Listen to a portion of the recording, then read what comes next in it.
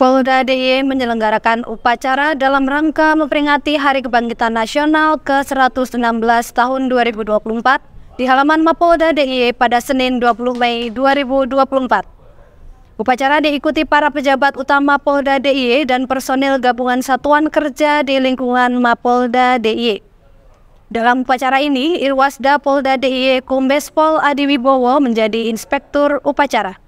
Saat membacakan sambutan Menkominfo RI Budi Aris Setiadi, Kombes Pol Adi Wibowo menuturkan momentum Hari Kebangkitan Nasional ke-116 tahun 2024 merupakan fase kebangkitan kedua dengan beragam tantangan dan peluang baru. Beliau berharap generasi penerus bangsa bisa membekali kompetensi literasi digital. Penguasaan atas teknologi merupakan keniscayaan untuk menyongsong Indonesia emas.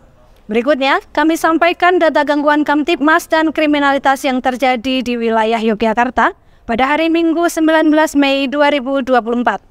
Selama satu kali 24 jam telah terjadi lima kejadian, yakni dua kasus penggelapan, satu kasus sajam, satu kasus penyalahgunaan narkoba, dan satu kasus penipuan.